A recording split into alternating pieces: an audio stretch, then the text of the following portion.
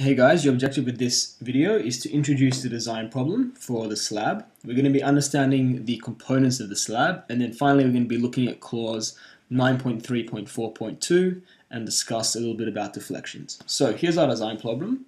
We have this grid.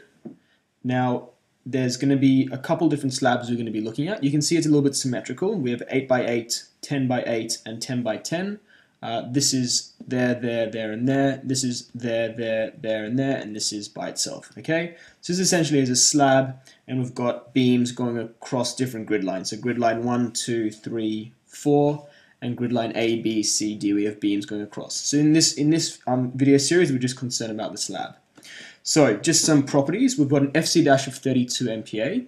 We can then find FCMI from the code. So we would turn to table 3.1.2, um, we have FC-32 MPa, so we have FCMI of 35 and E of 30100. So if I can just zoom in a bit for you guys. So 32, so we have 35 and 30100. So this would be 35 and um, EC would be 3100. 30100. Now, the code says that the density of concrete shall be taken as 2400 kilograms per meter cubed. Now, that's just normal concrete. We're dealing with reinforced concrete. So we're going to um, just add a bit of density to that and say that our gamma bulk, our gamma density is 25 kilonewtons per meter cubed.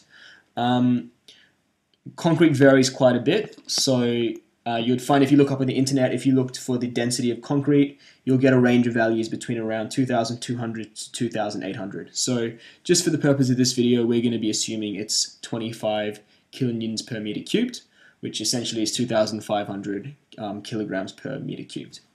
Uh, the next thing we need to find is um, psi s and psi l. Now you have to have